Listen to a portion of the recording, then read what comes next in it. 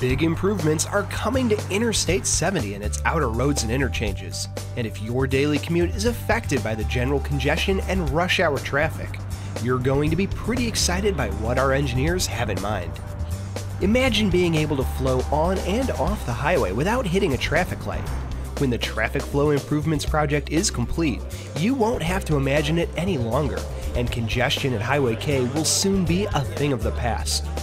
The I 70 Traffic Flow Improvements Project will bring one way outer roads to Interstate 70 between TR Hughes Boulevard and Highway K. And this project will help to alleviate the traffic problems between these two exits. The need has been there for many years.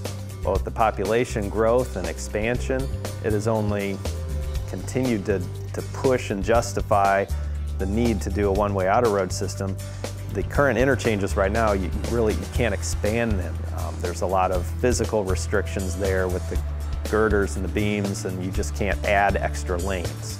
So with the one-way outer road system, you can get the cars off the highway well in advance of those interchanges, at which point the traffic can get on the local roads quicker, faster, and then they can spread out rather than just send everybody to those interchanges. Some of the key features of this project include slip ramps that allow motorists to merge on and off the highway without coming to a stop at an interchange. This allows traffic to flow more easily and eliminates congestion at typical stops like the Highway K exit. We're also adding a Texas U turn at Highway K, which allows traffic to flow from the westbound outer road to the eastbound outer road without hitting a stoplight. From there, traffic can continue on and even merge back onto Interstate 70 to get where they need to go. But that's not the end of the improvements coming to O'Fallon.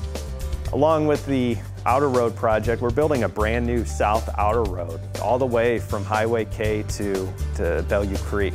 There is no South Outer Road there right now.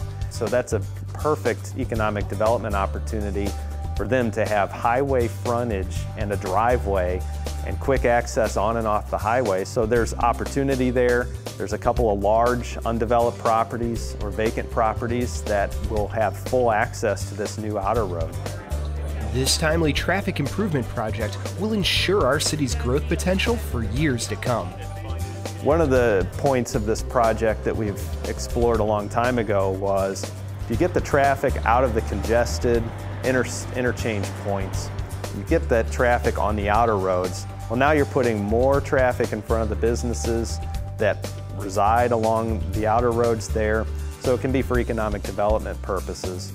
And it'll also help just get the volume of traffic away from those single traffic signals that are just backing up and take forever to get through. By spreading people out, you actually kind of get all the congestion down and make it more appealing for the, for the motorists. This project is fully funded with a combination of city, county, MoDOT, and federal dollars from the East West Gateway. The Missouri Department of Transportation is currently acquiring right of way and easements from property owners, and we're planning on bidding out the construction of this project in the fall of 2017. To follow along with the progress of this project, head online to the city's website at www.o'fallon.mo.us slash I-70.